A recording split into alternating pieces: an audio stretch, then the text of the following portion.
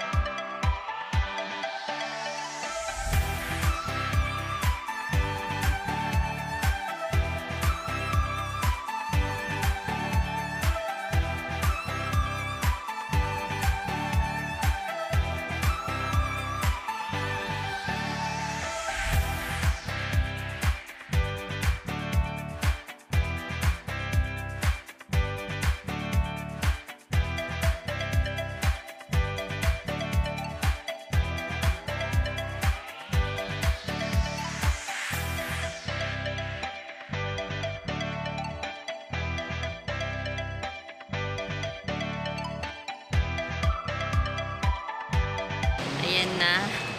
So, haggard. So, guys, ito na yung mga pinamili ko.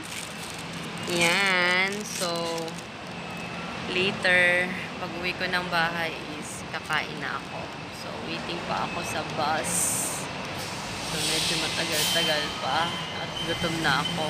So, see you later!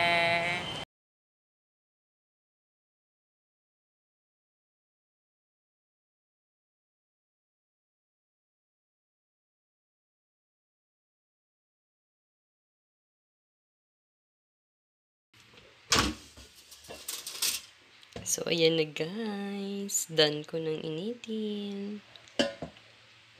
So, guys, ito na talaga ang aking meal dinner. Late dinner kasi 10pm na dito, guys. So, ngayon lang talaga ako kakain. Kasi nga na malengke, na grocery.